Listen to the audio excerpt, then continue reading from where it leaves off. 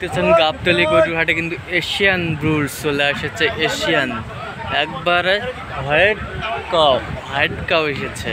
যারা যারা নেবেন, তারা গাবতলি গরুহাটে চলে আসুন, এক্ষুনি।